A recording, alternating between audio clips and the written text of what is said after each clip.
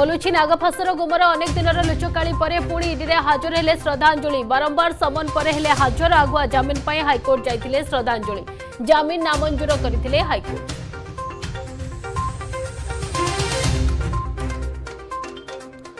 ଦୁଇ ହଜାର ଚବିଶ ପାଇଁ ଓଡ଼ିଶା ଦଖଲ ପାଇଁ ରାଜ୍ୟ ବିଜେପିର ବଡ଼ ପ୍ରସ୍ତୁତି ଆଜି ପ୍ରଭାରୀ ସୁନୀଲ ବଂଶଲଙ୍କ ବୈଠକ କେନ୍ଦ୍ରମନ୍ତ୍ରୀ ଧର୍ମେନ୍ଦ୍ର ପ୍ରଧାନଙ୍କ ସହ ସାମିଲ ହେବେ ସମସ୍ତ ଜିଲ୍ଲାର ସଭାପତି ପ୍ରଭାରୀ ଓ ପଦାଧିକାରୀ ମାନସ ମନ୍ଥନ ସାଙ୍ଗଠନିକ ପ୍ରକ୍ରିୟା ନେଇ ହୋଇପାରେ ନିଷ୍ପତ୍ତି ଜାତିସଂଘରେ ଜୟଶଙ୍କରଙ୍କ ଷ୍ଟ୍ରାଇକ୍ ପରେ ଛଟପଟ ପାକିସ୍ତାନ ବିଳବିଳେଇ ପ୍ରଧାନମନ୍ତ୍ରୀଙ୍କ ବିରୋଧରେ ଅପମାନସୂଚକ ବୟାନ ଦେଲେ ପାକ୍ ବୈଦେଶିକ ମନ୍ତ୍ରୀ ସବୁଠି ତୀବ୍ର ପ୍ରତିବାଦ ଆଜି ସାରା ଦେଶରେ ଗର୍ଜିବ ବିଜେପି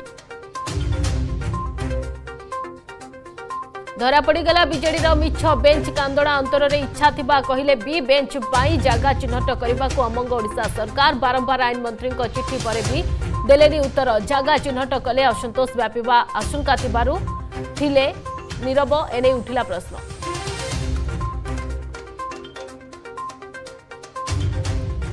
কলকাতাৰ পূৰ্বাঞ্চলৰ জোনাল পৰিষদৰ বৈঠকক গ্ৰোমন্ত্ৰী অমিতাৰক অধ্যক্ষতাৰে মিটিং সীমা সুৰক্ষা আৰু টৰৰ ফানডিং যায় সব প্ৰসংগৰে আলোচনা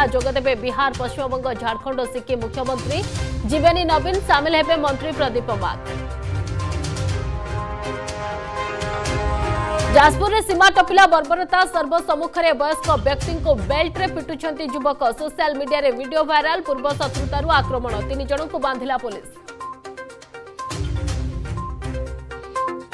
ପୁରୀରେ ଅଥୟ କଲାଣି ଝାଡ଼ାବାନ୍ତି ଆଉ ଜଣେ ରୋଗୀ ଆଖି ବୁଜିଥିବା ଅଭିଯୋଗ ଦୁଇକୁ ବଢ଼ିଲା ମୃତ୍ୟୁ ସଂଖ୍ୟା ଦୂଷିତ ପାଣି ଯୋଗୁଁ ପର୍ଯ୍ୟଟନ ସହରରେ ଡାଇରିଆ ମାଡ଼ୁଥିବା ଆଶଙ୍କା